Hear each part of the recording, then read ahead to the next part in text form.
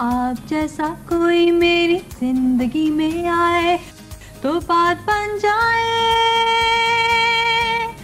ओहो बात बन जाए।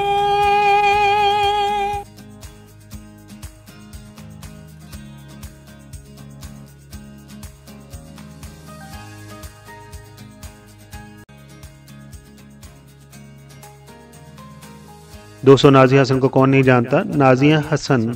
को हमसे बिछड़े आज 22 साल से ज़्यादा अरसा गुजर चुका है। आज उनकी बरसी है और आज ही के दिन, यानी कि 13 अगस्त को वो इंग्लैंड के अंदर कैंसर के मर्ज की वजह से इंतकाल कर गई थी।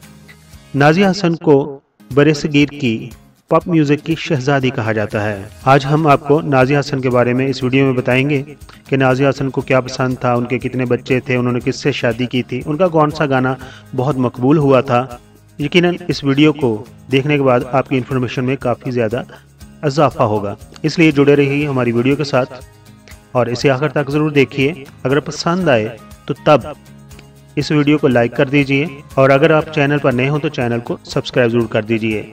आपके लाइक ही से पता चलेगा कि हम नाजिया हसन को कितना प्यार करते हैं, कितनी उनसे मोहब्बत करते हैं।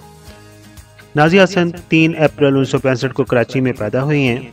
उनकी आवाज़ दिलों को मोह लेने वाली आवाज़ थी।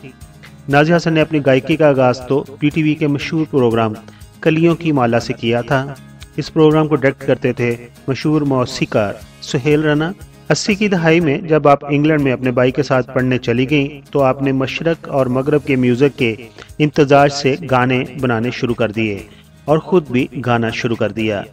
ये वो दौर था जब इंडिया में भी डिस्को म्यूज़िक का आगाज़ हो रहा था और इंडियन मशहूर डांसर और अदाकार मिथन चक्रवर्ती की फ़िल्म डिस्को डांसर रिलीज़ हो गई थी। आपके पहले ही एल्बम के तमाम गाने डिस्को बीट पर बनाए गए थे। दोस्तों, इंडिया और पाकिस्तान के अलावा दुनिया भर में जहाँ भी उर्दू और हिंदी समझी जाती है और जो पंजाबी समझते हैं, वो भी नाजिया हसन को पसंद करते हैं और नाजिया हसन को सुनते हैं। यही वजह थी कि नाजिया हसन की आवाज़ लोगों ने सुनी और देखते ही देखते लाखों दिलों की वो धड़कन बन गई। नाजिया हसन का पहला एल्बम उन्नीस सौ बयासी में डिस्को दीवाने के नाम से रिलीज़ किया गया। इस एल्बम की एक खास बात यह थी कि आपने इस एल्बम में अपने छोटे भाई जुहेब को भी बतौर गुलकार मुतारफ कराया था। दोनों की आवाज़ में रिकॉर्ड किए डिस्को दीवाने एल्बम ने रिकॉर्ड तोड़ बिज़नेस किया। मगर आपको सही मैनों में वर्ल्ड लेवल पर उस वक्त शोहरत मिली, जब आपने 15 साल की उम्र में इंडियन फ़िल्म कुर्बानी के लिए गाना गाया जिसके बोल थे आप जैसा कोई मेरी ज़िंदगी में आए तो बात बन जाए।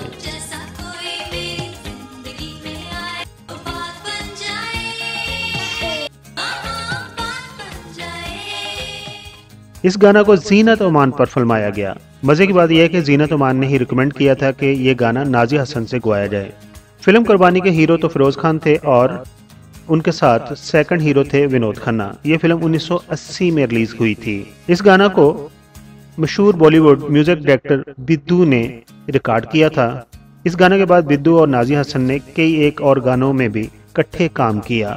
नाजिया हसन ने बिदू से मिलकर नौ से ज़्यादा म्यूज़िक एल्बम रिलीज़ किए थे। यूँ तो नाजिया हसन के तमाम गाने बहुत मकबूल हुए, मगर यहाँ चंद बहुत ज़्यादा मकबूल होने वाले गानों की बात करूँगा, जिनमें डिस्को दीवाने, आप जैसा मेरी ज़िंदगी में कोई आए, आग दे दे, आग ले ले, बूम बूम यंग तरंग, अखियाँ मिलाने वाले, कैमरा कैमरा। उसके अलावा उन्होंने एक पंजाबी गाना भी गाया था जिसके बोल थे, टाली दे थल्ले बह के चलो करिए प्यार दियाँ गल्लां। इस गाना की वीडियो भी आप पर ही फिल्माई गई थी।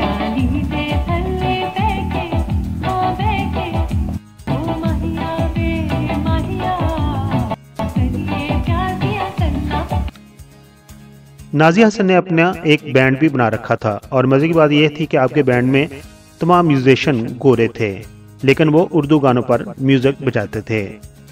पाकिस्तान टेलीविज़न को देखने वालों को मालूम है कि पाकिस्तान टेलीविज़न पर एक प्रोग्राम दनक के नाम से नशर किया जाता था। ये म्यूज़िक का प्रोग्राम था। नाजिया हसन ने उस प्रोग्राम की काफ़ी अर्सा तक मेज़बानी भी की थी। दोस्तों, अब ज़रा तफसील से एक नज़र डालते हैं नाजिया हसन की ज़िंदगी पर। नाजिया हसन ने 10 साल की उम्र में गाना गाना शुरू किया था। आपकी एक एल्बम की कापी पैंसठ मिलियन तक पूरी दुनिया में सेल हुई थी। पैंसठ मिलियन तक। बहुत बड़ा रिकॉर्ड है उस वक्त। नाजिया हसन के अलावा बरसगीर की किसी भी दूसरी गुलकारा को आज तक इतनी पॉपुलैरिटी हासिल नहीं हुई। आपको क्वीन ऑफ़ साउथ एशिया का लकब भी दिया गया। नाजिया हसन अपने दौर में सबसे ज़्यादा मुआवजा लेने वाली गुलकारा थी। नाजिया हसन ही वो गुलकारा थी जिन्होंने सबसे पहले बड़ी ही छोटी उम्र में फ़िल्म फेयर अवार्ड बतौर गुलकारा हासिल किया था। दोस्तों नाजिया हसन ने 30 मार्च उन्नीस को मिर्ज़ा इश्तियाक बेग से शादी की थी, जो कि एक बिजनेसमैन थे। वो मराकश के शहर मराको में बिज़नेस करते थे। नाजिया हसन का एक बेटा अरेज हसन है, जो कि 7 अप्रैल उन्नीस को पैदा हुआ था। जब आपको कैंसर हो गया तो आपके शोहर थोड़ा आपसे दूर रहने लगे। और नाजिया की मौत से 10 दिन पहले उन्होंने उन्हें तलाक दे दी। कुछ लोगों का कहना है कि ये मामला मिर्ज़ा इश्तियाक बेग और नाजिया हसन के भाई जुहेब हसन के साथ कुछ प्रॉपर्टी का इश्यू था, जो कि नाजिया हसन की प्रॉपर्टी थी। और दोनों ही उसे टेक ओवर करना चाहते थे। नाजिया हसन की डेथ के काफ़ी अर्सा बाद 23 मार्च 2002 को गवर्नमेंट ऑफ़ पाकिस्तान ने आपको प्राइड ऑफ़ परफॉर्मेंस के अवार्ड से भी नवाजा था। मशहूर वेब ब्राउज़र गूगल ने आपकी तिरपन साल बर्थडे पर डोडल से भी आपको खराज तहसीन पेश किया था। नाजिया हसन काफ़ी अर्सा तक कैंसर के मर्ज में मुबतला रही और आखिर ये मर्ज उनके लिए जानलेवा साबित हुआ। और फिर 13 अगस्त 2002 को नौ बजकर पंद्रह मिनट पर सिर्फ़ 35 साल की उम्र में अपने खाल के कीकी से जा मिली। नाजिया हसन को अपनी ज़िंदगी के आखिरी दिनों में बहुत तकलीफ़ से गुजरना पड़ा और उन्हें लंदन के अंदर ही दफनाया गया। उनका बेटा भी लंदन के अंदर ही रहता है और वहीं एजुकेशन हासिल कर रहा था। आखिर पर हम दुआगो हैं कि इस प्यारी सी हमारी गुलकारा को अल्लाह ताला जवार रहमत में जगह ता फरमाए। आपको नाजिया हसन का कौन सा गाना पसंद था? आप नाजिया हसन के बारे में क्या कहना चाहते हैं? तो पी के मेगा वीडियोज़ के सब्सक्राइबर कमेंट्स बॉक्स में अपने ख्याल का इजहार कर सकते हैं।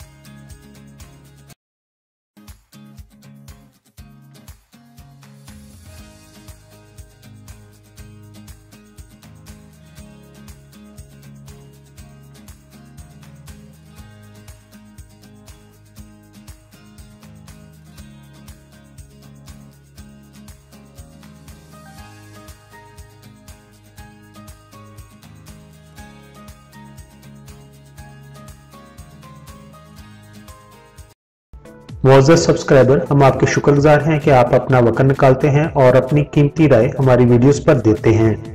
हमारी ये है कि हम आपके कमेंट्स को अपनी अगली वीडियोस में शामिल करते हैं। दोस्तों, अगर आपने हमारा चैनल अभी तक सब्सक्राइब नहीं किया तो प्लीज़ सब्सक्राइब कर दीजिए और हमारे साथ जुड़े रहिए।